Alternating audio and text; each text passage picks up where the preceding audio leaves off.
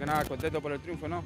Y sí, como decís vos, partido fundamental para, para seguir esperanzado y como vos dijiste también, eh, volví a mi puesto, que es lo que venía buscando desde que llegué. Pero bueno, eh, ahora con, con, Pedrito creo que me, va, me, va, dando la confianza para jugar en mi puesto.